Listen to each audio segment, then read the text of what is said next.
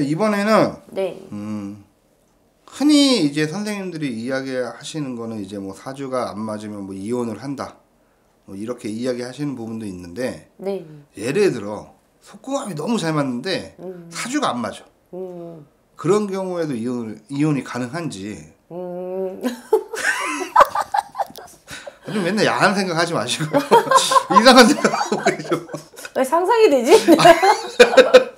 아니 상담을 하다 보면 정말 이 사람 싫어요, 안 살고 싶어요 해놓고도 제일 중요한 게 보면 속궁합이 너무 잘 맞아서 못 헤어져요 하는 분들이 많아요. 그리고 이 사람하고 정말 이렇게 잘 살아보고 싶은데도 뭐 남편에 대한 불만이든 아내에 대한 불만을 많이 얘기하시는 분들이 있어요.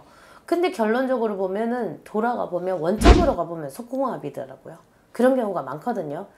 근데 서로 부부간의 불만이 이거 저거 저거 저거 저거 다 있는데 속궁합만 잘 맞으면 용서를 해줄 수 있는데 그게 안 돼서 용서가 안 되는 것도 있고 그리고 다른 거 다 못하는데 속궁합이 너무 잘 맞아서 이혼을 못하는 경우도 있고. 근데 드물다 웃어요 선생님. 웃겨.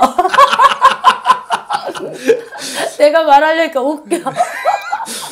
근데 어, 속궁합이 너무 잘 맞는다 하더라도 결국은 돈적인 거 금전적인 문제거나 이런 게 있으면 이혼을 하게 돼 있어요 아 사주가 안 맞아도 어느 이혼을 한다. 정도 잠시에 뭐 잠시라 해도 뭐 몇 달일 수도 있고 몇 년일 수도 있고 한데요. 그게 평생 가지는 않는다고 보여요.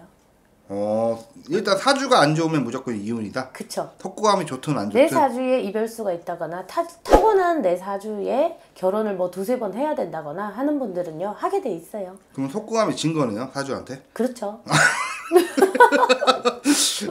일단은 알겠습니다.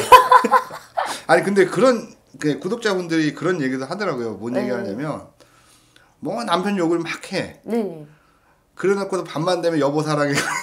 응. 그러니까 속 궁합이 잘 낮에는. 낮에는 엄청 싸우고 난 너하고 안 살 거다 욕을 하고 싸우고 그래 놓고도 밤만 되면은 붙어서 자야 되고 그런 분들이 있어요.